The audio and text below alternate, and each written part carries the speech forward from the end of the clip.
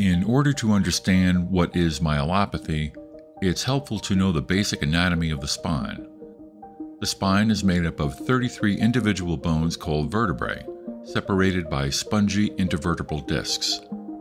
The vertebrae are numbered and divided into four regions cervical, thoracic, lumbar, sacrum, and coccyx.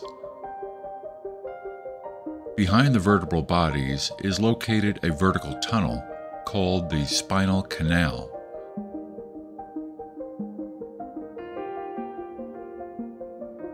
The spinal canal contains the spinal cord and protects it from injuries.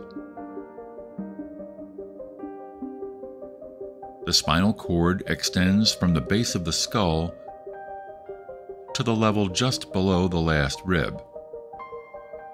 It serves as the communication system between the brain and the body, carrying messages about movement and feeling. If a disorder or injury interrupts or disturbs the way neural signals are transmitted through the spinal cord, a condition called myelopathy occurs. Spinal cord problems occur most often in the cervical spine but may sometimes occur in the thoracic spine. Myelopathy can be difficult to detect. Usually, it develops gradually in seniors with a loss of coordination, difficulty turning doorknobs, or problems navigating stairs. Sometimes, for example, after a neck injury, myelopathy may develop and worsen rapidly.